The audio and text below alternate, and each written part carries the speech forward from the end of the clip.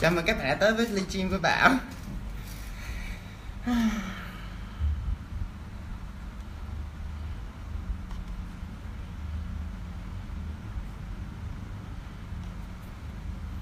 Chết.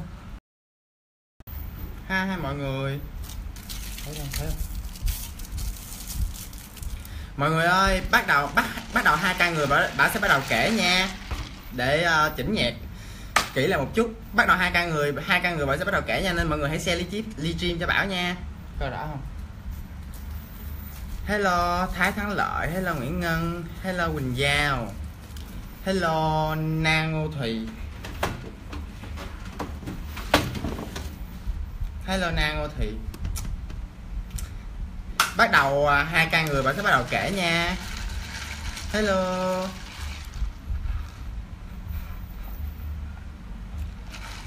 hello thanh hiền. Mọi người sẽ livestream cho bảo nha. Hello thùy trang. Bắt đầu hai ca người bảo sẽ bắt đầu kể nè. Hai ca người rồi kìa. Hello mọi người, bắt đầu chúng ta sẽ tới với cái câu chuyện của một người bạn của chị nghi lã đã kể lại câu chuyện này cho chị nghi lã nghe. Và người bạn đó đã nói rằng, hãy giấu tên chị. Xin hãy giấu tên chị câu chuyện này bắt đầu như thế này. Bạn của chị nghi lã là có có một kiếm là chị em sinh đôi đó mọi người biết không? Cái chị đó là chị em sinh đôi và bà đặt tên nha. Chị đó tên là chị uh, vân thanh. Vân thanh và trang phi. Thì uh, vân thanh trang và trang phi là hai chị em sinh đôi. Thì hồi đó cái nhà cái gia đình của vân thanh và trang phi á có bốn người là gồm ba mẹ với lại vân thanh và trang phi thì lúc lúc mà mới chuyển tới đó, mọi người hiểu không? Chuyển tới đó là cái ngôi nhà đó, nó kiểu giống như là sống ở chợ, nó tách biệt á. Sống ở chợ, nó các bạn sống ở một cái vùng quê á, cho nên nó khá là tách biệt.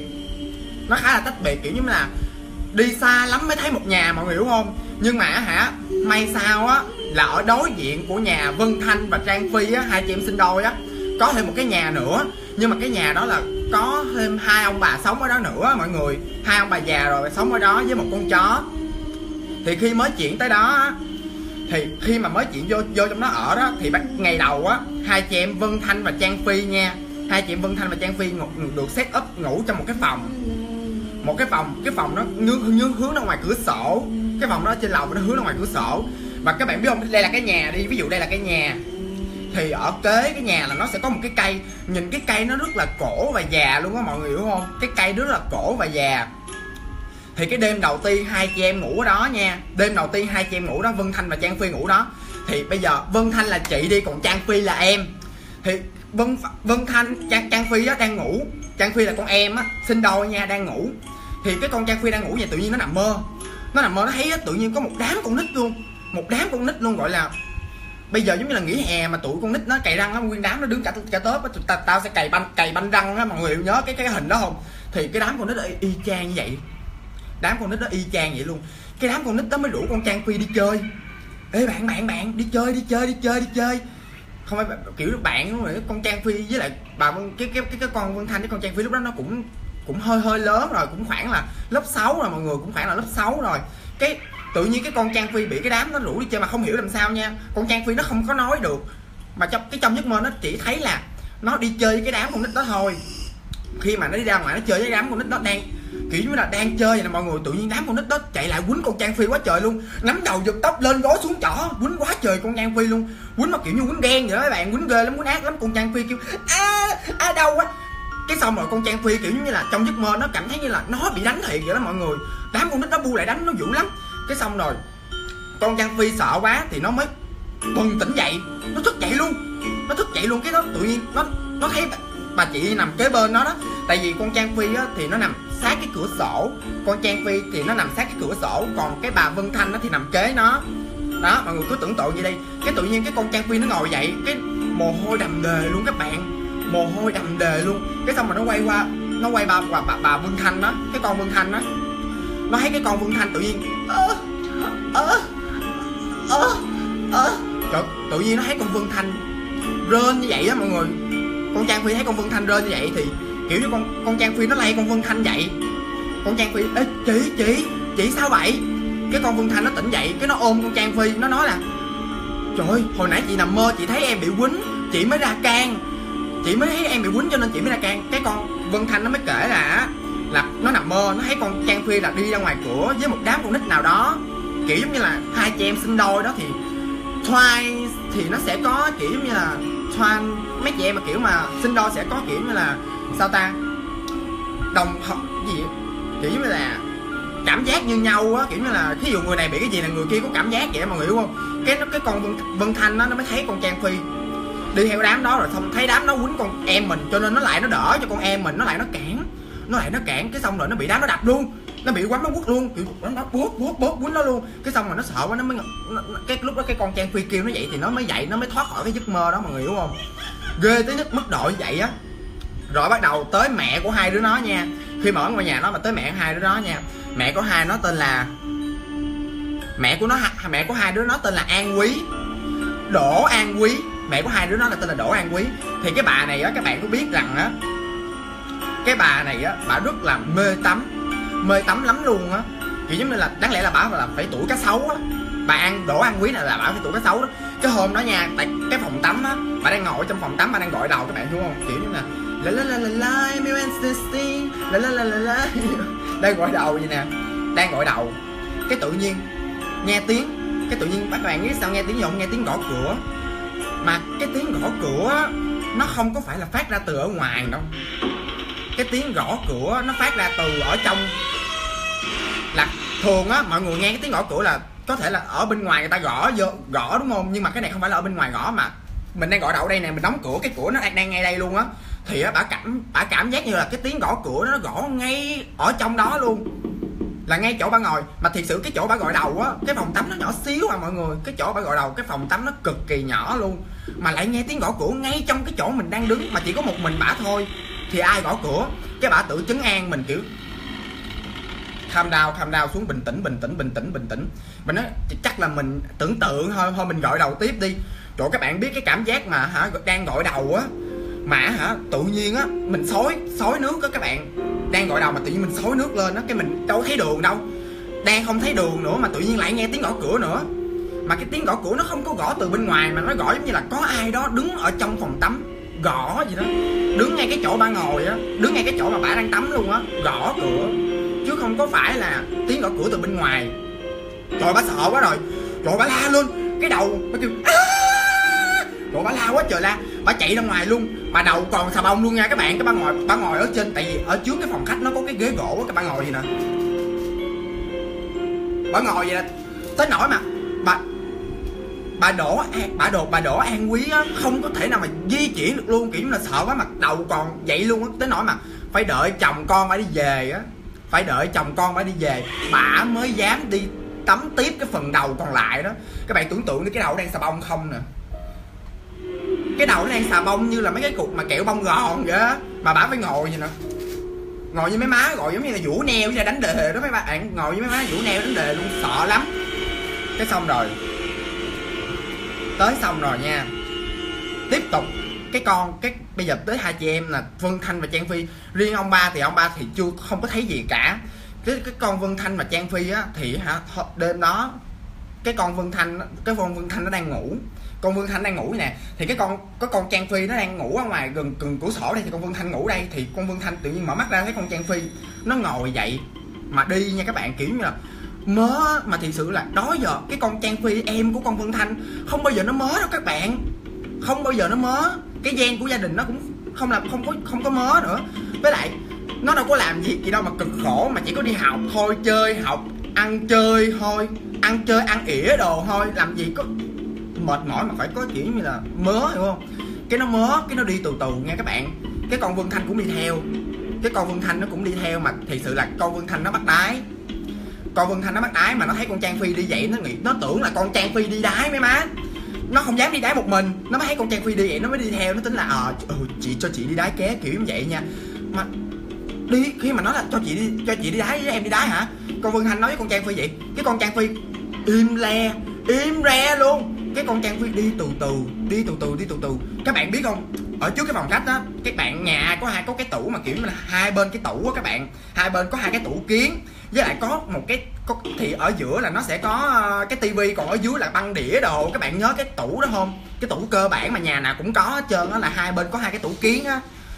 Nó lại đi lại nó đứng trước cái nó đứng trước cái tủ kiến đó, đó vậy đó các bạn. Nó cứ nhìn cái con búp bê ở trong cái tủ kiến của nó á. cái con búp bê đó đó. Cái con cái bông vân thanh nó kiểu kiểu đánh vô dài cái con trang phi nó, ủa, em làm gì vậy? Em làm gì với trang phi? Cái xong rồi, cái con trang phi nó mới kêu á là, chị ơi, có cái bạn nào á, bạn kêu em á là cái con búp bê của em nó đẹp quá. Em lấy ra cho bạn nó mượn chơi đi. Con vân thanh kiểu kiểu sợ teo chim mà kiểu, what do you mean? When you say you see God, then I'm so so care what do you mean? Trời tự nhiên nhà đâu có ai đâu, chung quanh kiểu lắm nha, vùng quê mà các bạn, đối diện là chỉ có một ông bà già với là một con chó thôi. Làm gì có đâu ra một đứa bạn của nó, hiểu không? Làm gì đâu ra một đứa bạn của nó mà kêu, bạn em thích cái con búp bê đó quá. Cho bạn nó là kêu là lấy cái con búp bê ở trong đó ra cho bạn nó mượn. Oh my god! Nếu mà là bảo trong tình cảnh đó là, look at my dad. Look at my dad. Look at my dad trời ơi sợ lắm luôn á kiểu như là con con Vương Thanh nó mới hỏi lại là hả? Em nói gì? Cái con Trang Quy nó lại y, nó nói lại y chang vậy là cái bạn nó cho nó mượn cái búp bê kiểu như là con vương Thanh nó chỉ muốn hỏi là chị đang sợ chị cho em cơ hội nói lại đó. Không thôi chị tán chết mẹ em. Kiểu như vậy đó. Sợ quá luôn. Cái xong rồi nó mới nó mới kêu thôi thôi em đi vô phòng ngủ với chị đi. Cái con vương Thanh nó mới nói với con Trang Phi là thôi em vô phòng ngủ với chị đi. Đừng đừng có nói gì nữa đừng có nói gì hết. Mày nói ra nữa là chị là lên huyết áp chị chết luôn á kiểu giống vậy á cái xong rồi khi mà hai đứa dắt nhau đi á, các bạn, thì ở trong cái tủ kiến á, các bạn các bạn có biết rằng á, cái con búp bê đó đó, cái con búp bê đó nó có thể nói được. Nhưng mà, kiểu giống như là mình bóp vô mình nghe, I love you, I love you, I love you pặt pặt I love you pặt pặt á, kiểu giống vậy á. Nhưng mà cái con búp bê đó là do là đã quá cũ rồi. Cho nên khi mà, các bạn hiểu không? Cho nên khi mà kiểu tự nhiên cái tiếng của con búp bê đó không có ai bóp hết mà cái con búp bê đó rên mà kiểu cái- giống như là cái con búp bê đó nó cười vậy đó các bạn nó nó cứ lý lý lý lý giống như là cái, nghe cái tiếng phát ra từ con búp bê đó luôn nhưng mà cái tiếng không còn được như trước nữa. Cái tiếng của con búp bê nó rất là kỳ cục luôn á. Nó giống như là tiếng nói chuyện của một ai đó mà vừa nói vừa cười vậy đó các bạn hiểu không? Cái tâm rồi cái con Vân Thanh thấy vậy dắt cái con Trang Phi đi vô trong phòng luôn. Hai đứa hai đứa ngồi chùm mền lên như nè sợ quá sợ quá sợ quá sợ luôn. Sợ lắm luôn á sợ cực kỳ luôn. Ví dụ gặp mấy bạn đó, mấy bạn sợ không?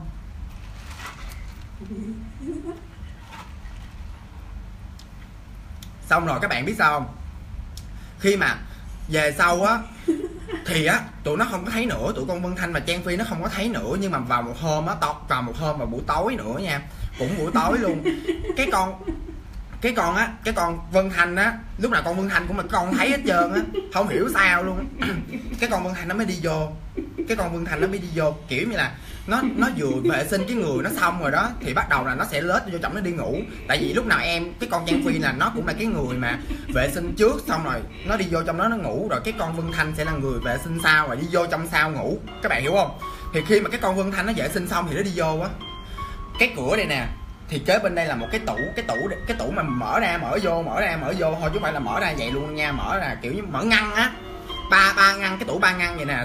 Kế đây, xong đó là cái giường và tới đó là cái cửa sổ. Tới đó là cái cửa sổ ngoài là cái cây á các bạn. Các bạn có biết không? Nó mới vừa đi vô thôi. Nó chững người luôn, nó chững người luôn. Nó chững cái người nó luôn á. Là con em của nó á, bình thường á không có nằm ở ngoài cửa sổ, nhưng mà bây giờ tự nhiên khi mà nó đi vô á, nó lại thấy con em nó nằm ngay cái chỗ nó. Cái nó thấy có một người đàn ông đi từ đây, mà các bạn biết rồi, khu này đó, nó chỉ có cái, nó chỉ có cái cửa ở đây thôi, còn cái này là vách tường. Hiểu không? Cái cửa ở đây thôi và cái này là vách tường. Thì nó đi vô thì nó chững, nó đứng, tự nhiên nó đứng trước, nó nhìn con em nó, ủa sao tự nhiên nằm chỗ tao? Nhìn con ủa tự nhiên hôm nay mày nằm chỗ tao thì con khùng. Cái tự nhiên xong, cái nó thấy một cái thằng chỉ mà thấy một kiểu như là một người mặc nguyên một bộ đồ bộ đội đó mọi người. Mặc bộ đồ bộ đội nha. Dắt theo một đứa, một thằng con nít. Mặc bộ đồ bộ đội, dắt theo một thằng con nít nha. Đi lại, đặt cái đặt cái thằng thằng bộ đội đó đó. Thấy thằng bộ đội rõ ràng nha. Đặt cái đứa bé trai đó nằm ở ngoài cái cửa sổ. Đặt cái đứa bé trai nằm ở ngoài cửa sổ, nằm kế con trang phi.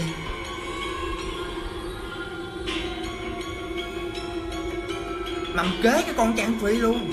Đặt cái đứa bé trai đó nằm kế con trang phi luôn. Cái xong rồi hả? Tự nhiên người người bộ đội đó với cái con trang, với với lại cái đứa bé đó biến mất. Biến mất hoàn toàn luôn. Người bộ đội với đứa bé đó quay qua quay lại là không còn thấy cái người bộ đội đó với đứa bé đó nữa. Cái xong rồi con sang phi nó sợ quá. Nó quyết định là ngày mai nó nói chuyện với mẹ nó luôn á. Là thấy bữa giờ rồi mà kiểu như là cũng nó nói với mẹ nó vài lần rồi, hiểu không?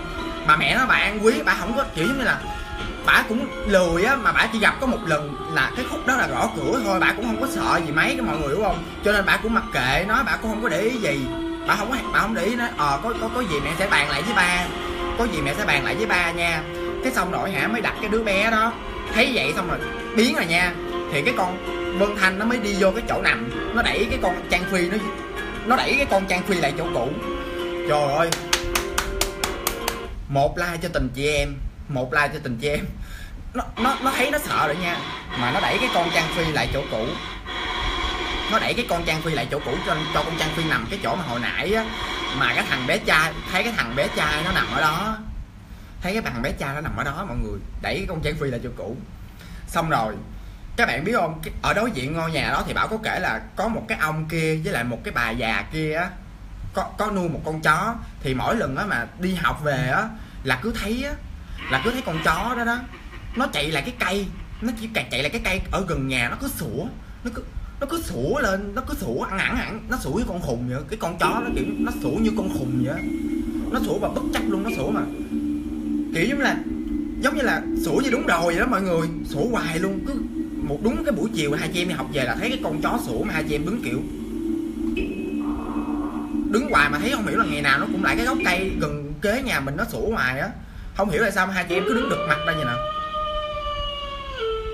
really nigger really nigger kiểu giống vậy đó. Trời ngày nào cũng thấy nó sủa mà nó sủa như đúng rồi vậy á. Cái xong rồi sợ kiểu nó cũng mặc mặc kệ con chó đi nó cũng là con chó mà cũng chẳng chẳng quan tâm nó là cái gì hết. Tới một ngày thì kiểu giống như là cái ngày đó hôm đó là ngày lễ hay gì đó thì ba mẹ muốn hai chị muốn chở hai chị em đi chơi. Thì bảo cũng đã kể với các bạn á là bà mẹ bà rất là thích lạnh, bà rất là thích tắm mọi người hiểu không? Bà mẹ bà rất là thích tắm cho nên hả bà mới kêu bà bà mới tự nhiên bả vô trong phòng tắm á, cái hôm đó là tự nhiên bả ở trong phòng tắm á, mà mọi người đang chuẩn bị để đi chơi á, thì bả mới đứng ở trong phòng, bả đứng ở ngoài phòng tắm bà thấy có ai đang tắm ở trong phòng tắm. Bà thấy có ai đang tắm ở trong phòng tắm á mọi người. Cái bà mới gõ cửa bà gõ cửa. Chưa biết ai à, nha bà gõ cửa. Ai trong phòng tắm dậy? Ai ở trong phòng tắm dậy? Cái xong rồi có một cái tiếng trả lời lại bà sao cái này? Có một cái tiếng trả lời lại bà là đang tắm giọng của một người phụ nữ nha. Mà khi bà bỏ gõ cửa nó ủa đứa nào đang tắm trong đó vậy bay? Cái bà an quý đó cái bà đổ an quý đó bà hỏi là ủa đứa nào đang tắm ở trong đó vậy bay? Cái xong rồi cái tiếng trả lời là bà đang tắm đang tắm cái xong rồi bà nói má đứa nào mất dạy vậy? Con con vân thanh phải không? Con vân thanh phải không? Mày phải không vân thanh mày, mày nói chuyện với mẹ mày chống lóc vậy hả? Mày ra đây mày biết tao cái xong rồi hả? Bà cái bà đổ an quý bà mới ra ngoài ghế ngồi.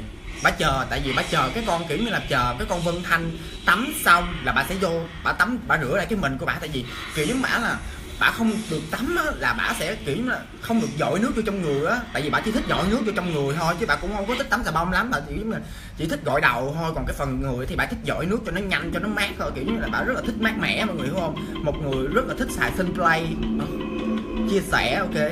Cái xong rồi bà đang ngồi nha, tự nhiên hả? Cái con vân thanh nó mở cửa ra. Con vân thanh nó mở cửa ra, nó kêu, mẹ ơi, sao nãy giờ mẹ ở trong đây mà mẹ đứng lâu, mẹ ngồi, mẹ chuẩn bị lâu quá vậy? Cha con tụi con đợi muốn hả? Lòi con mắt ra luôn á. Ô! Đồ ăn quý be like what? Bitch what? Trời ơi chị ủa? Mà, mà, mà, mà hỏi ý hỏi ý hỏi hỏi ý hỏi ý gia đình nha hỏi ý gia đình. Ủa mày ở đây vậy ai ở trong phòng tắm? Mẹ ra trong phòng tắm? Cái xong rồi con Phương Anh nó kêu ủa nãy giờ con đâu đi tắm đâu? Con đâu đi tắm đâu? Nãy giờ con với con Trang Phi với lại ba đứng ngoài chờ mẹ mà. Bà Đỗ An Quý kêu trời bà Đỗ An Quý bà ngất luôn. Bà ngất luôn tại vì lúc mà bà gõ cửa rõ ràng bà nghe có tiếng trả lời lại là đang tắm. Trời ơi bà teo rồi. Tứ di rụng rời vú rụng nụ rồi vú mà muốn dắt vú mà muốn dứt ra đằng sau luôn mà mọi người hiểu không? Vú mà tưởng tượng mà kiểu mà sợ tới nỗi mà vú rụng mà kiểu mà quay quay quay quay xong là hả bay lên trời được luôn á kiểu giống vậy á. Sợ tới mức như vậy luôn cái xong rồi hả bả mới bả, bả hả qua ngày qua ngày hôm sau á tức tốc mời thầy về liền. Mời thầy về để coi coi là lý do tại sao mà kiểu như gặp vậy hoài á với lại cũng muốn ở đây tại vì công việc cũng đang ở đây mà hiểu không? Cái công việc của gia đình hai vợ chồng đang ở đây cũng kiểu như là gần á cho nên mình chạy tới làm cho nó tiện. Cái xong rồi ông thầy ông tới ông mới kêu là hồi xưa ở đây là kiểu như là chiến tranh này nọ có rất là nhiều người chết ở đây. Mà khi mà mình vào đây mình ở mình không có cúng đất đai mình không có cúng cái gì hết trơn cho họ cho nên họ phá mình. Bây giờ hả ông thầy á ông chỉ là cúng như thế này cúng như thế này này này này này, này nè. Xong rồi hả ông thầy cho mấy cái bùa hả chôn mấy cái góc nhà để chứng hiểm chôn ở mấy cái góc nhà để chứng yểm. Rồi từ đó về sau hả, ông nói hả là vào cái khoảng ngày này ngày này nè, là cô với gia đình phải cúng. Không thôi á là người ta quở, người ta hả không có cho làm ăn được. Với lại người ta cứ cho gặp hoài vậy là cũng không tốt. Ông nói là, cái con trang phi này nè, là nó âm khí nhiều lắm, tại vì hả, kiểu giống như là khi mà sinh hai chị em ra đó thì cái con vân thanh là nó dương nhiều. Con vân thanh á là nó dương nhiều, còn cái con trang phi là nó âm nhiều. Hiểu không? Cho nên hả nếu mà để càng để á, thì cái con trang phi này về sau sẽ rất là nguy kịch và không có thể nào kiểu giống như là rất là dễ bị nhập chẳng hạn kiểu giống vậy. Cho nên là phải cúng vào kiểu như là đến định kỳ là mình phải cúng vào cái ngày đó phải cúng. Rồi từ đó về sau gia đình này biết chuyện vậy đó cho nên cúng cho nên cúng nha rồi xong là mọi chuyện sẽ mọi chuyện ổn. Và sau đó về sau á cái bà Vân Thanh với Trang Phi này với lại cái gia đình này lên Sài Gòn ở luôn. Rồi bà gặp bà ghi Lã và sau đó bà ghi Lã bà biết bà biết, bà Vân Thanh biết bà Nghi Lã bà. Cái xong là bà Vân Thanh biết luôn, bảo là bảo kể chuyện ma, bà Vân Thanh bà mới kể cho bà Nghi Lã nghe.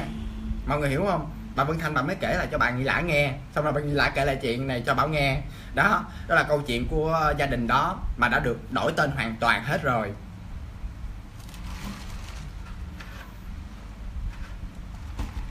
Mọi người sẽ clip cho bảo nha và sẽ kể tiếp câu chuyện tiếp theo.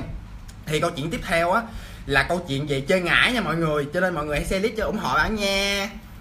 Câu chuyện tiếp theo là câu chuyện chơi ngải của bạn bảo bảo của bạn bảo bảo đã gửi nó cho chúng ta nha. Bạn bảo bảo đã gửi cho chúng ta mọi người share clip share livestream cho bảo nha. Thì cái cái cái à, cái người à, bây giờ mình đã đặt tên nha thành luân. Thành luân. Thành luân là cái là cái ông chú của cái bạn bảo bảo này. Ừ, ví dụ cái tên vậy đi thành lưng là ông chú của cái bạn bảo bảo này. Một hôm kiểu giống như là gia đình gia đình gia đình của thành lưng á là làm về cà phê cà, cà, cà phê cà pháo á mọi người. Cái ông thành lưng á ổng đang kiểu giống như là cầm cái ly cà phê như nè đi đi giao cho người ta để người ta uống. Đi giao cho người ta để người ta uống. Tự nhiên khi về cái ổng ông thành lưng á ổng nằm như ổng giật giật như nè. Ông cứ giật giật vậy đó mọi người. Ổng giật kiểu giống như là mấy cái con zombie mà trong ờ, uh, Train to Busan á cái ông thành ông thành lưng á ông vậy xong rồi gia đình đó gia đình nó mới á là đem ổng vô xong rồi cứ tự nhiên hả mấy ngày sau á tự nhiên mấy ngày tự nhiên mấy ngày sau á cái hả ổng cứ nằm hoài luôn kiểu như là ổng nằm ngoài mà ổng giống như là khô quéo khô quéo cái người ổng á. Cứ ờ, ổng cứ ngỡ ỏ là ổng cứ ổng cứ ổng cứ có một kiểu mà ổng cứ nằm hoài mà ổng cứ chừng mắt lên hoài luôn, không ăn không uống được gì luôn. Mà cái mặt ổng cứ hốp vô vậy nè. Mà cái người ổng lạnh nhắc à mà ổng vẫn thở đều nha mọi người, ổng vẫn thở đều nha. Ông vẫn thở đều. Cái xong rồi hả, cái muốn, cái mới kêu bác sĩ về, tại vì không có dắt ổng đi đâu được ông thành lương không có đem ổng đi đâu được hết. Thì mới đưa ông bác sĩ về. Cái ông bác sĩ này á, ổng mới nói là chỉ là bệnh cảm thôi, chỉ giống như là bị hả, sốt thôi, cái bệnh cảm thôi, chứ ổng không có thấy cái vấn đề gì mà bệnh nặng gì hết. Ổng không hiểu lý do tại sao á, mà ông này ông lại nằm, kiểu giống như là bất bại vậy mọi người hiểu không không hiểu lý do tại sao mà ông này ông lại nằm như vậy ông thành lương á. Cái hả về sau có thấy một cái gia đình này thấy lạ quá, mới muốn mới muốn thầy. Gia đình này mới thấy lạ quá, mới muốn thầy, mới muốn thầy về nha, cái rồi, mới muốn ông mới muốn ông thầy về, ông thầy này mới nói đó là ông thành luân này, ông bị chơi ngải rồi. Mà cái người chơi ngải ông thành luân này á, dùng ngải quá mạnh mạnh hơn sức của ổng. Ổng chỉ là một ông thầy dạng như là coi bói thôi, mọi người hiểu không? Cái ông thầy này là chỉ ông thầy là coi bói thôi. Ông thầy mà được gia đình thành lân mướn về á. Cái xong rồi, mới kiếm là ông thầy nào mới kêu là đi kiếm ông thầy khác đi. Chứ cái cái cái ngải này nó mạnh quá so với tôi tôi không có thể nào giải được cái ngải này cho ông thành luân. Thì bắt đầu mới đi kiếm một người nữa mới kiếm một ông thầy ở bình dương nha. Ông thầy bình dương tên là việt phương. Ông thầy ở bình dương tên là việt phương, mới có 27 tuổi thôi. Ông ông thầy này mới có 27 tuổi thôi. Thì khi mà tới đó đó, ông thầy này á, mới má cái này cứ ông thầy việt phương này á, mới nhìn ông thành ông thành luân. Ông thầy việt phương này mới làm cái gì đó, ông kêu là đưa cho ổng một cái gì gọi là đưa cho ổng một cái gì đó gọi là gần gũi nhất với ông thành luân mà ở lâu nhất với ông thành luân á cái món vật gì mà lúc nào ông cũng mang theo bên người mà dạng như là ở lâu nhất với ổng thì mới lấy cái chiếc nhẫn mới lấy cái chiếc nhẫn cái này không phải là tôi phức mấy bạn nha chiếc nhẫn cưới thì để đây tôi quên. Thì cái cái chiếc nhẫn ở đây nè cái chiếc nhẫn đính hôn, đính hôn á của ông thành luân. Thành luân với bích ngọc á chiếc nhẫn đính hôn giữa thành luân với bích ngọc. Thì lấy cái chiếc nhẫn này ra thì ổng mới cuốn cái chiếc nhẫn này vào một sợi chỉ. Cái ổng ổng làm lăm lắc lắc vậy nè. Ổng thảy xuống thì ổng coi coi là cái chiếc nhẫn này, cái cái chiếc nhẫn này nó sẽ hướng cái đầu nhẫn. Coi tại vì cái trên nhẫn nó có một cái gọi là kim cương, kiểu như là cái cái cái vòng tròn á. Là cái đầu nhẫn này nó sẽ lăn, nó sẽ hướng về cái hướng nào? Thì ổng niệm niệm hồi ổng quăng xuống thì cái đầu nhẫn nó hướng về hướng đông, hướng về hướng đông gần cái giường. Thì đi xuống tới cái chỗ đó, gần cái giường mà xa xa nó chút nữa, gần cái giường mà ở ngoài mọi người hiểu không? Thì ra ra ngoài ra ngoài khu đất á, thì mới trào lên mới đào cái ngoài khu đất ở ngoài đó thì mới thấy một con búp bê. Đào lên thì thấy một con búp bê nha. Cái ông việt phương này nè, mới cầm cái cái kiếm á, húi ột ột vô con búp bê đau quá. Chém con búp bê ra, mở con búp bê ra hả? Trời thấy ở trọng hả? Là toàn bùa, không là bùa luôn. Thấy ở trọng là toàn là bùa luôn. Cái xong rồi hả? Ông việt phương nè hả? Ông mới dùng phép á, kiểu như là đốt cái lá bùa này đi á. Đốt cái lá bùa này đi tại vì cái xong tại vì trong lá bùa đó thì dở ra, trước khi mà trước khi mà đốt lá bùa đó thì dở ra nha. Thí dụ đi, ngày sinh ngày sinh của thành luân là ngày mấy đi? Thí dụ ngày sinh của thành luân là ngày 25 tháng 4 đi. Ngày sinh của thành luân là ngày 25 tháng 4 thì cái ngày á mà ghi ở dưới cái ngày sinh của thành luân á là ngày, ví dụ như là ngày 4 tháng 6 gần rồi nè, ngày 4 tháng 6 là còn có đúng 3 ngày nữa. Ngày 4 tháng 6 nha, là còn đúng 3 ngày nữa là thành luân sẽ chết là ở trên đây là ghi ngày sinh của thành luân nè, ở dưới là ghi cái ngày thành luân sẽ chết. Là còn đúng 3 ngày nữa thôi nha mọi người, còn đúng 3 ngày nữa. Ông thầy việt phương nói là còn đúng 3 ngày nữa thì ông thành luân cũng sẽ chết. May là kiếm ông việt phương sớm á, không thôi là ông thành luân cũng chết rồi. Cái ông thành luân mới nói gia đình đó nè. Gia đình ơi, ví dụ á, mà cái ngải này á, cái ngải này là cái ngải mà giáp giữa campuchia và thái lan cho nên á, khi mà cái ngải này nó không có giết được cái người, ví dụ cái ngải này nó không có giết được ông thành luân, thì chắc chắn một điều là cái ngải này á, nó sẽ quay ngược lại, nó cắn lại chủ nó. Tại vì nó không giết được người, chừng nào mà nó giết được người thì nó mới ngưng. Còn không á, thì nó sẽ tiếp tục, nó sẽ tiếp tiếp tục có hiểu không? Cho nên nó sẽ quay lại giết ông chủ. Nhưng mà thiệt sự là ông việt phương ông nói vậy thôi, nhưng mà ông quay qua ông nói với bà vợ là, thiệt đó là tôi là tôi biết ai làm cái ngải này lên ông thành luân rồi thì ông ông việt phương ông mới nói á, là cái người làm cái ngải này á là minh chiến. Cái người làm ngải này là minh chiến, là chỉ như là anh vợ của ông thành luân. Là anh của cái bà đó, bích ngọc á, anh vợ của ông thành luân. Tại vì ông ông minh chiến, ông nghĩ là ông thành luân, ổng sẽ kiểu giống như là giành đất của ông minh chiến á. Cho nên ông minh chiến quyết định là đi thái lan mua ngải về chơi ông thành luân và ông nói, ông, thiệt là ông việt phương, ông ông nói nói nói vậy thôi, nhưng mà thiệt sự ông biết rằng đó là ông anh, ông thành luân là bị anh vợ của ổng là minh chiến chơi ngại, ông biết ai chơi ngại ổng luôn. Hiểu không? Cái xong nội hả, kể về cái cuộc đời của ông minh việt phương nha, kể về cái ông, cuộc đời của ông việt phương. Thì ông việt phương đó là hồi đó, ông việt phương là hồi đó là ổng còn trẻ là còn nhỏ là ba mẹ ông chết. Ông việt phương á, lúc mà ông còn nhỏ là ba mẹ ông chết.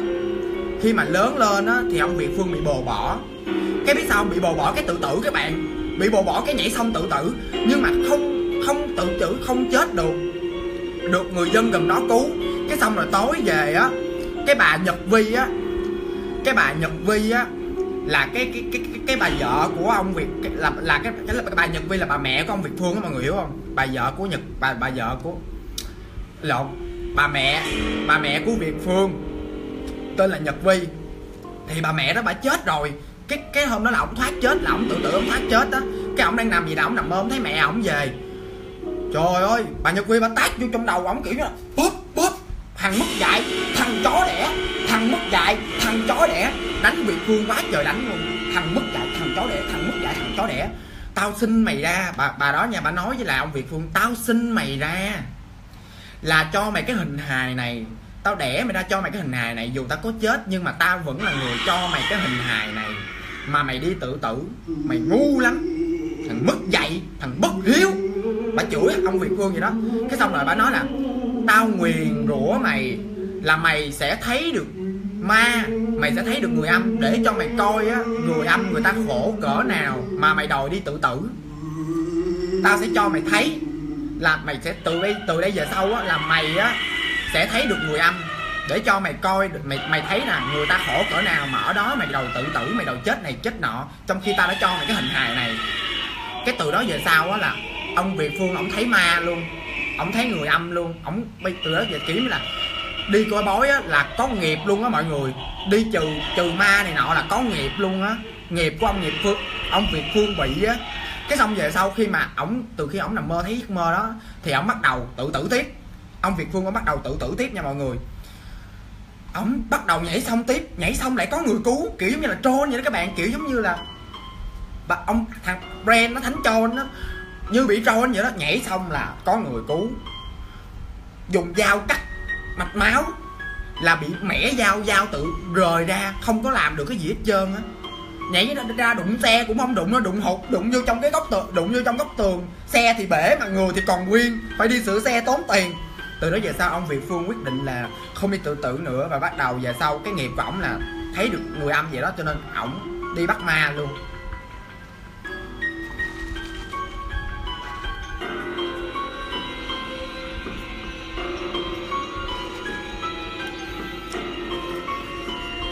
Bây giờ bà sẽ kể tiếp câu chuyện nha. Mọi người hãy ở yên trong livestream này, đừng có đi đâu cả.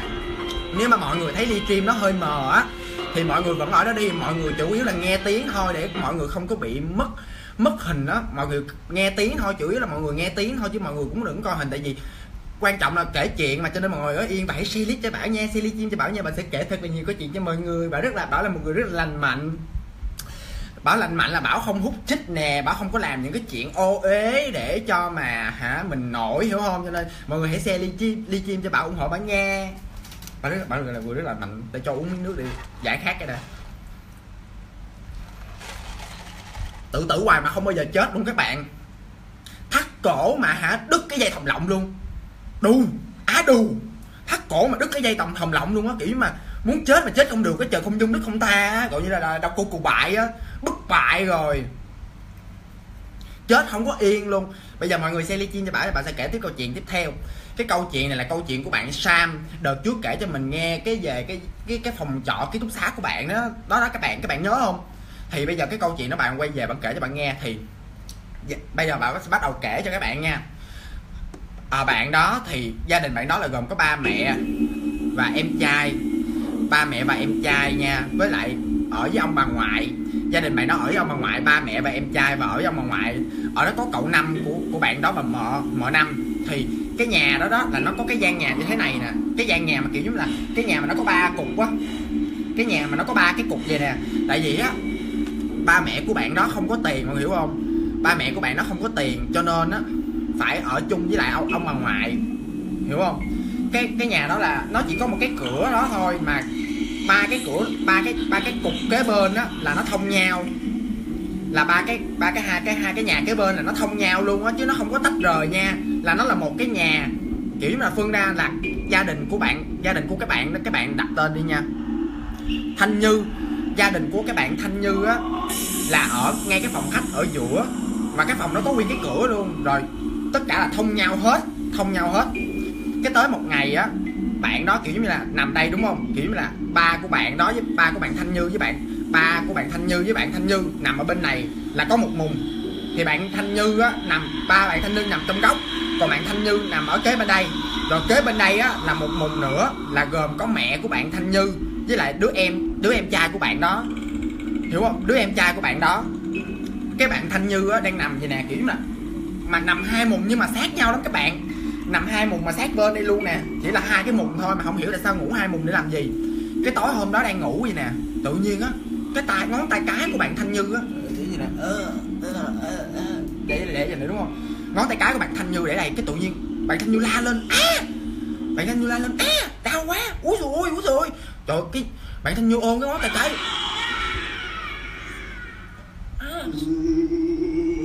Đó bạn thanh như đau, đau quá cái bạn ôm vậy. Cái bạn bạn thanh như quay qua. Bạn thanh như mới thấy có một người phụ nữ ngồi mà tóc xõa dài nha dài xuống gần tới lỗ đít luôn á. Dài nha.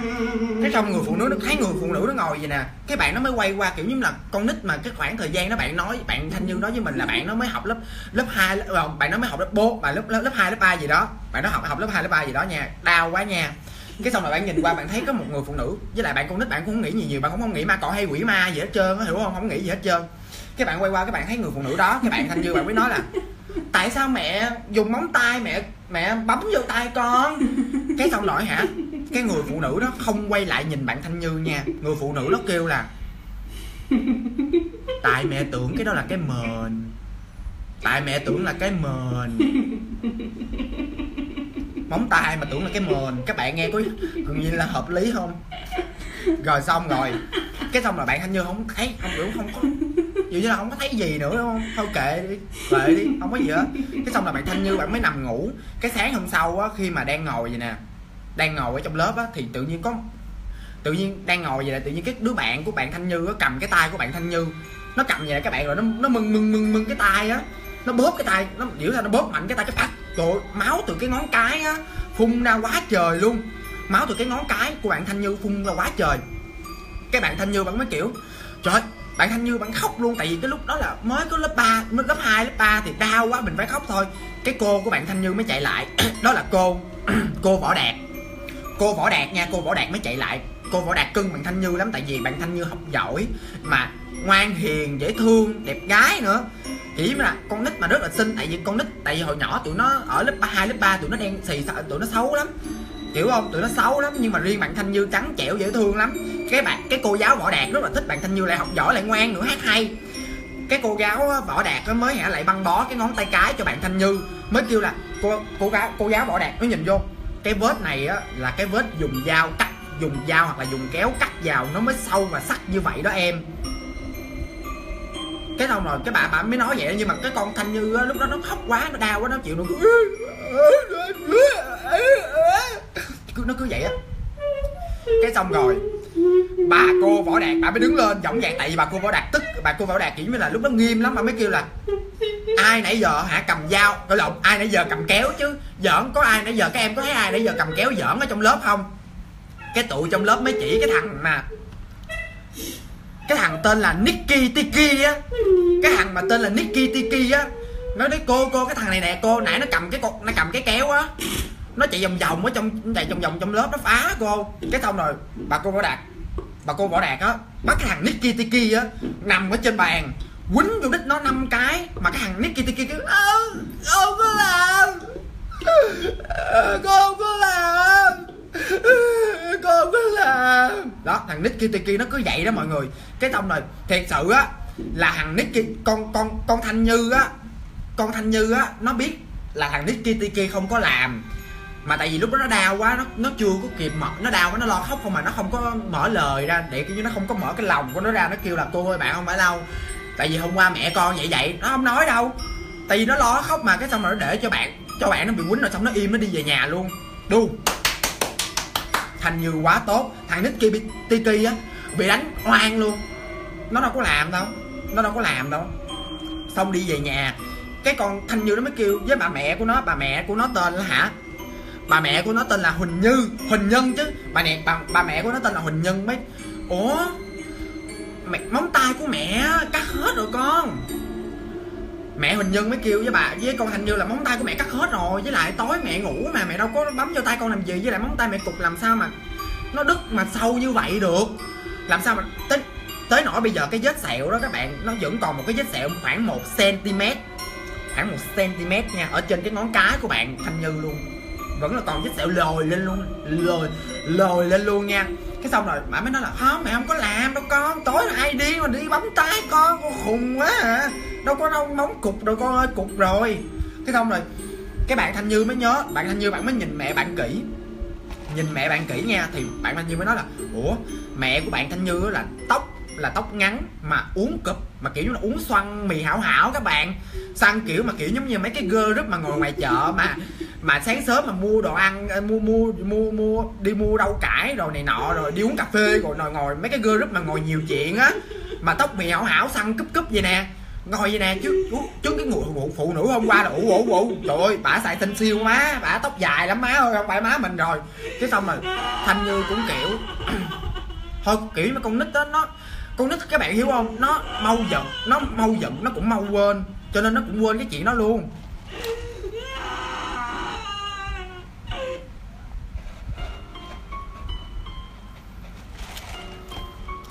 Rồi, bây giờ phải nói tiếp. Nó mau giận, mau quên chuyện đó luôn. Rồi bẵng đi tới lớp 6 khoảng năm lớp 6 thì cái cậu năm á mà ở cái kế nhà, ở kế bên nó cậu năm á chết. cậu năm năm đó là bị bệnh nhiều quá. Cái cậu năm nó tên là cậu năm của bạn thanh như tên là gia thịnh. Cái năm đó hả, ông gia thịnh ông bệnh nhiều quá cho nên ông chết. Kiểu như là gia đình của đây không có tiền á, để nuôi bệnh ổng á. Ông gia thịnh nó bị bệnh nặng quá cho nên đem về nhà kiểu là chờ ông ngày ông gia thịnh chết luôn. Mà để ông gia thịnh ở trong cái phòng của ổng á nha, mà ổng chết dần chết mòn luôn á, tại vì thiệt là lúc đó gia đình không có tiền để nuôi bệnh ông gia thịnh cho nên phải để ông mang ông về nhà chờ ngày gia thịnh chết thôi, cái ông gia thịnh ông chết, từ ngày ông chết đi á, là cái phòng nó đóng luôn. Bà mọi năm bà đi luôn, bà không có ở đó nữa, bà không có ở đó nữa, bà đi đi ra chỗ khác bà kiếm sống, tại vì cuộc sống của bà chỉ có chồng bà thôi mà hiểu không? Còn á ông bà ngoại á, thì lên lúc đó thì ông bà ngoại lên sài gòn rồi.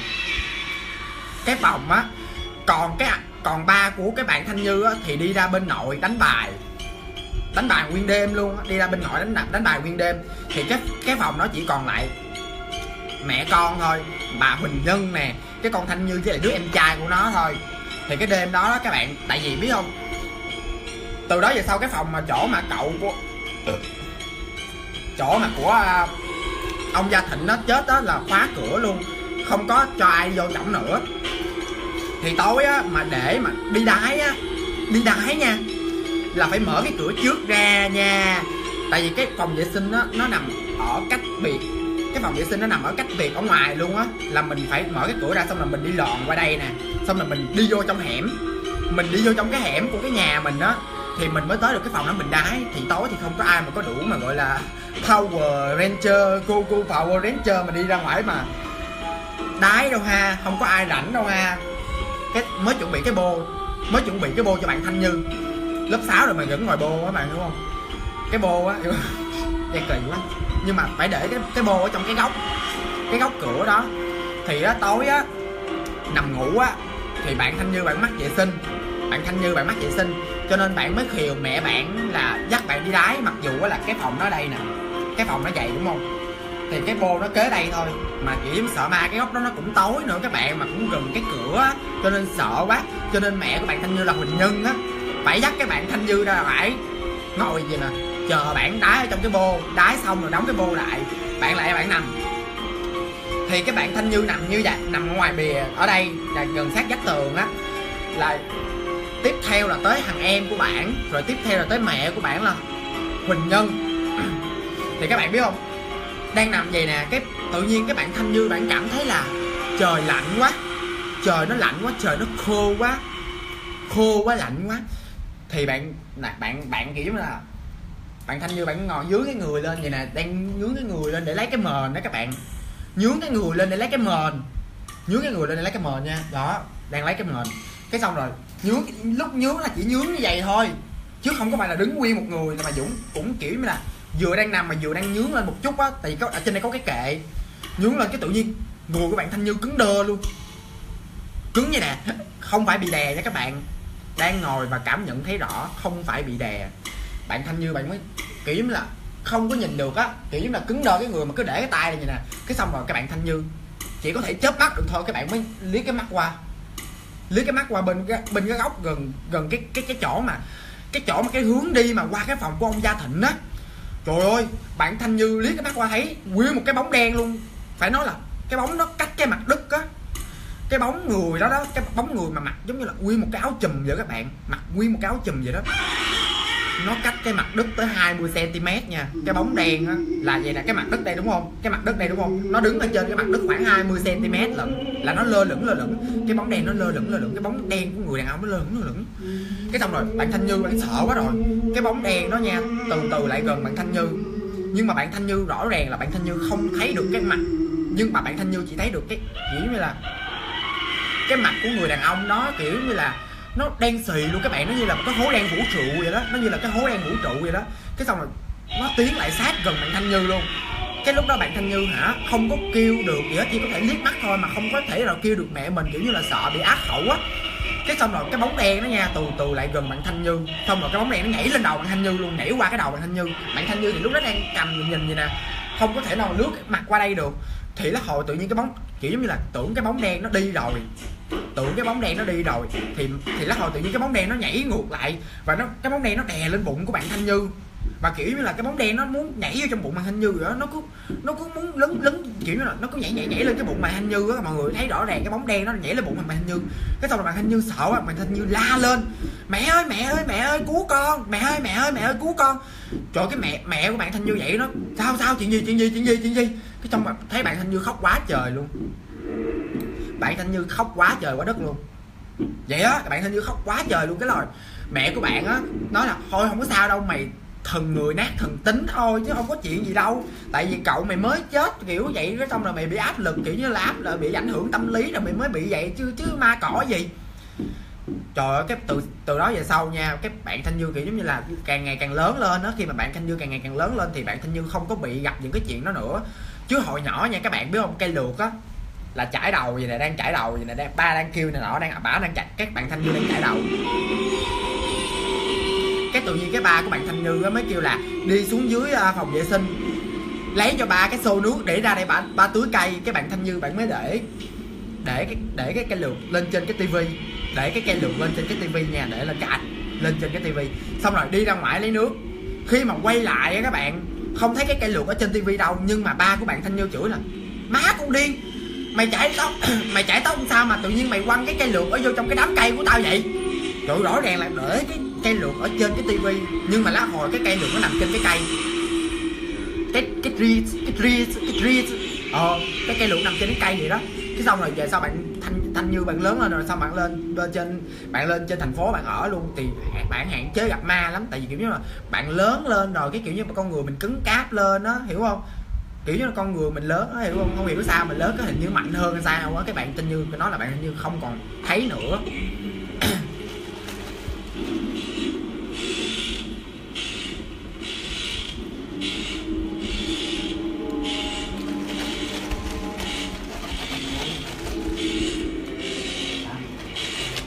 Bây giờ bảo sẽ kể cái chuyện cuối cho các bạn nghe nha. Cho nên các bạn hãy share cái livestream này cho bảo nha và cùng ở lại bảo với nghe một câu chuyện cuối cùng thì cái câu chuyện này là bữa trước bảo có kể cho các bạn nghe. Bữa trước bảo có kể cho các bạn nghe về cái câu chuyện mà đi cắm nhang á, đi cắm nhang á mọi người, mà bảo chưa có kể đủ. Bảo chưa có kể full câu chuyện và bây giờ bảo sẽ bắt đầu kể full câu chuyện cho các bạn nghe. Thì các bạn, thì cái người nhân vật đó tên là hàng dương. Thì cái bạn đó tên là hàng dương nha. Thì cái bạn hàng dương á, hồi nhỏ bạn mới đi kiểu như là từ nhỏ bạn hiền lắm bạn hàng dương bạn hiền lắm. Cái tự nhiên lớn lên á cái bạn hàng dương đổi tánh luôn. Bạn hàng dương mất dạy với cha mẹ lắm. Cha mẹ nói một câu là bạn hàng dương cãi cãi một câu à. Cha mẹ nói một câu là bạn hàng dương cãi một câu. Cho nên á bị chửi bị đánh nhiều lắm mà bạn hàng bạn hàng dương bạn trâu bò lắm các bạn. Cái xong về lớn lên á cái bạn hàng dương bạn mới chơi với lại cái bạn tên là à, bạn bạn hàng dương mới chơi với cái bạn tên là quế lam. Bạn chơi với bạn quế lam. Cái hôm đó các bạn cái hôm đó bạn quế lam đi coi bói, thì cái bà coi bói á, bà đang coi cho cái thằng kia. Bà nói, cái thằng kia nó là sao tự nhiên số tôi nghèo hoài, bà ơi, số tôi bị và hả? Kiểu như là làm cái gì cũng không được, cái không muốn chật hết. Cái bà kia mới mới coi, cái bà kia bà mới coi cho cái ông đó, bà mới nói là hồi đó cái thằng này nè, nó là, nó ăn cắp ăn cướp á.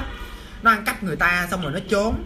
Nó trốn ở trong một cái bụi bụi đậm cái nó kêu á cái nó kêu với mấy cái người xung cái dòng xung quanh nó kêu là hả cậu hả cho hả công an không thấy không thấy con nếu mà công an hả không thấy con thì con sẽ quay con sẽ cúng con sẽ cúng nha. Là kiểu như là cầu với người, người dông mấy cái dông xung quanh đó các bạn biết không? Cái dông đó cái ông công an nha ông rội mặt rội cái đèn pin vô thẳng vô cái thằng đó luôn. Nhưng mà không thấy rõ không thấy cái mặt nó luôn kiểu như là gọi gọi đèn pin vậy nè mà không thấy nó luôn. Ma che mắt ông công an á, kiểu như là ma ma đứng che á, che cái cái cái dòng nó đứng che cho cái cái thằng đó, không có bị phát hiện nha. Đứng che cho thằng nó không bị phát hiện. Xong rồi về sau thằng này, kiểu như là nó quên luôn là nó phải cúng á, cho nên người ta cứ đi theo nó hoài á. Người ta cứ phá nó hoài cho nó không có làm ăn gì được hết trơn á. Nghe vậy là xong rồi ghê ra cái bắt đầu hả? Bạn mới làm á, bạn mới đưa cái hình của bạn, của cái thằng hàng dương cho cái bà coi bói này cái bà câu bói này mới kêu là bây giờ kêu cái thằng hàng dương này ra đây gấp đi. Kêu cái thằng hàng dương này ra đây gấp đi. Cái xong rồi hả khi mà hàng hàng, hàng dương tới á cái bà câu bói mới mới, mới nhìn với mặt bạn hàng dương vậy nè. Bà mới kêu là có tin hôn mà coi có tin hôn mà coi vậy con. Cái thằng hàng dương mới kêu là không tin. Cái xong rồi bà mới nói là cái thằng này nè có một cái người có một cái dông cái hàng hàng dương này có một cái dông nữ đi theo cái dao này đi theo nó từ lúc nó còn nhỏ. Hồi lúc nó còn nhỏ mọi người cái nó kiểu giống như là khi mà nó đi nó đi vô cái nghĩa địa ở dưới quê của gia đình nó đó thì mẹ của nó cắm nhang cho gia đình cắm nhang cho dòng họ thì còn dư nhang mới đi kêu nó là đi cắm hết mấy cái mấy cái mấy, mấy cái mộ còn lại kiểu như là cắm cho hàng xóm cho hàng xóm ấm. Cái hàng hàng dư này lúc đó nó còn nhỏ nó biết gì nó mới đi cắm cho mẹ nó. Nó cắm xung quanh vậy nè. Ở đó thì có một cái bia mộ của một cái con nhỏ nó chết trẻ mà nó chết ngoan. Nó thấy thằng hàng dương dễ thương quá, nó đi theo thằng hàng dương tới giờ luôn. Mà mỗi tối đó các bạn, mà khi mà nó qua ở với cái thằng quế lam á, mỗi khi mà nó qua ở thằng quế lam á, các bạn là hả, nó cứ nằm, nó nó nằm mơ á. Thằng thằng quế lam thấy đó nha, kiểu mà mỗi tối á là nó ngồi vậy nó mở cửa ra, đứng nó chửi, con đuổi, biến, mày biến mày biến mày đừng có đụng cho tao nữa. Nó cứ đứng nó chửi vậy thằng hàng dương nó cứ đứng chửi vậy đó. Chửi không vậy các bạn mà mở cửa ra đứng chửi nha. Cái xong rồi cái thằng quế lam nó mới kéo thằng hàng dương xuống kiểu ủa mày bị gì vậy? Mày bị gì vậy? Cái xong cái, kiểu giống là mớ mà mỗi lần mà nó làm vậy á là sáng hôm sau nó không nhớ gì hết luôn. Mà rõ ràng là tối hôm đó, đó ừ ừ xong rồi nó nằm ngủ tiếp nhưng mà nó không bao giờ nó nhớ gì hết. Hồi mà ở nhà nó đó vậy nè nha. Mà ở, mỗi lần á mà nó nằm mơ á là nó sẽ nó kiểu như là mỗi lần mà nó nằm mơ, nó bị người, nó cứ bị, giống như là bị người ta ruột đánh đó các bạn mà bị ruột đánh ở trong cái nghĩa địa đó. Mà chính cái, mà lúc nào nó cũng nằm mơ là nó thấy nó nó ở cái nghĩa địa mà, của dòng họ nó ở nghĩa địa ở dưới quê á. Lúc nào cũng nằm mơ thấy là đứng ở tại cái nghĩa địa đó hết trơn á. Tại vì cái con nhỏ, cái cái dòng nó khiến cho nó, kiểu như là khi mà cái buổi tối đó là cái dòng nó sẽ bắt cái hồn, kiểu như là bắt cái hồn của nó đi tới cái chỗ nghĩa địa đó để chơi với cái dòng đó đó mọi người. Cái xong rồi hả, các bạn biết không? Tối á nó nằm ở ngủ á, nó nằm ngủ ở nhà nó nha.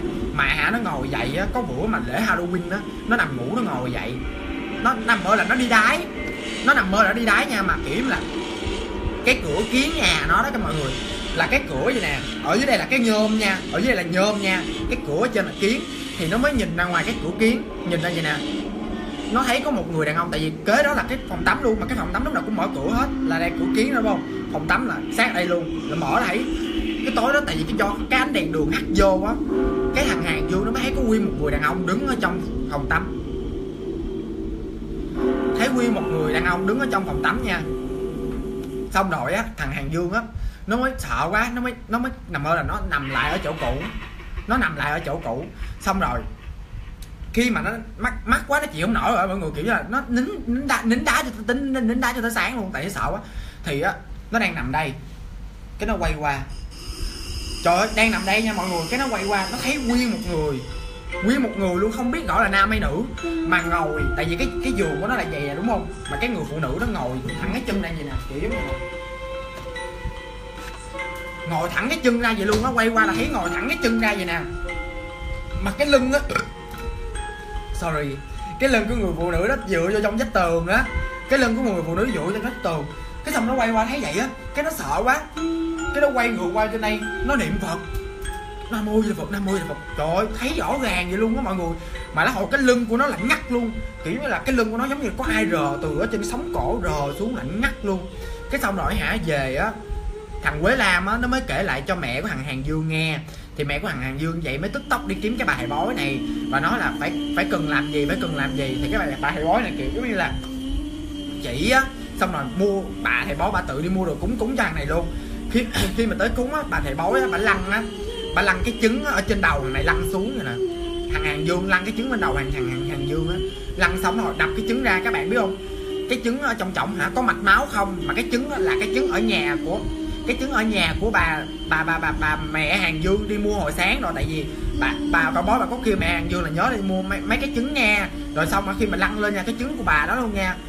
Cái trứng của gia đình nó nha không phải của bà nha. Đập ra thấy mặt máu chổng không. Là kiểu như là cái người này là ở lâu trong cái người nó quá rồi. Mà kiểu mà cái hàng hàng dương kiểu mà nửa nửa âm nửa dương luôn á. Là nửa âm nửa dương luôn á. Kiểu như vậy á. Là phần âm còn nhiều hơn bắt đầu phần nhiều hơn phần dương rồi mã hả? Hồi nhỏ nó ngoan lắm mà tự nhiên lớn lên bắt đầu nó chửi cha chửi mẹ nó. Trời mẹ nó nói một câu nha, nó cầm ghế nó phan nó cầm ghế nó phan vô trong vết tường vậy nè. Mất dạy lắm. Cái rồi khi mà chửi vậy xong á các bạn, tối á, khi mà chửi xong này nọ xong rồi đi ra ngoài bờ kè các bạn, dục hết những cái đồ cúng đó xuống dưới xuống dưới nước ở ở bờ kè á. Thì khi mà đi về nhà các bạn biết không? Trên cái cửa mà kiến đó các bạn, hằng lên nguyên một cái mặt. Cái cửa kiến đó nha, hằng lên nguyên một cái mặt của một người kiểu như này, cái hạ hơi các bạn. Hà hơi giống như ai hà hơi vô kiến á mà thấy rõ quy một cái mặt người ịnh vô trong cái kiến luôn. Cái kiến cửa thấy rõ quy một cái mặt người ịnh lên trên cái kiến luôn. Đó nó vậy đó.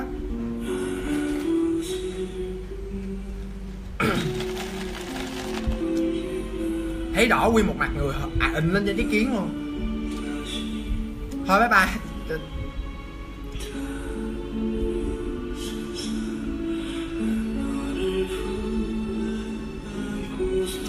Bye bye các bạn nha. Chúc các bạn có một buổi tối vui vẻ. Hẹn gặp lại các bạn ở cái ly chim sau nha. Ly chim thứ sáu tuần sau nha. Bye bye mọi người. Và mọi người nhớ là Bảo chỉ có một cái channel youtube thôi Và hãy nhớ là thứ sáu hàng tuần Bảo kể vào 9 giờ nha. Không còn cái khung giờ nào khác, cho nên các bạn đừng có hỏi nữa nha. Thứ sáu hàng tuần Bảo kể vào lúc 9 giờ nha. Bye bye mọi người.